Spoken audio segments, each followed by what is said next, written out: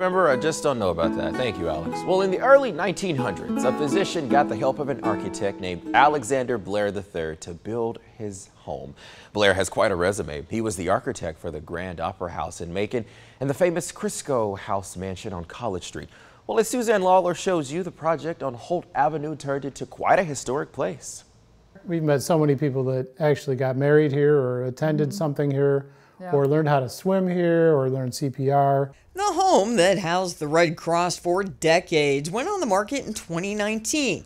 Jay and Karen Palmer moved from New York to scoop it up. It's built in 1908 uh, by Thomas Baker, a wealthy physician. Eight original mantels are here, and each one is distinct and beautiful and probably meant for somebody that he loved. It retains all of its uh, layout really of a single family residence. There is a second and third floor with this winding showcase of a staircase leading to each level.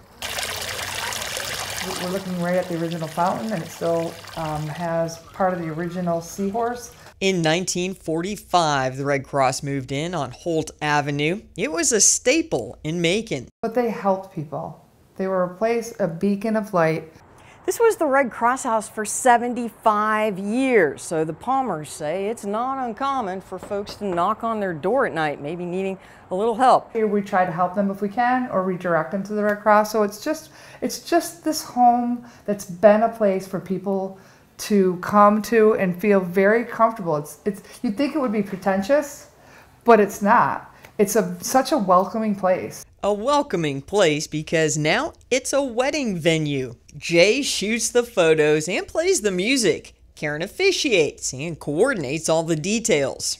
Every time I share the story, I can't believe I'm in this house. Karen and Jay call it Chanticleer, but many still lovingly know it as the Red Cross House. The Palmers are fine with that because inside these walls, decked out with detailed crown molding in the original floors, you'll find love love of the home, love for anyone that comes through the doors, and love for the history of the property. And we're trying to add to the house by taking good care of it and restoring where we can and honoring what the house is. And yeah, we're definitely committed to being good stewards of the house. Yeah. Suzanne Lawler, 13 WMAZ News.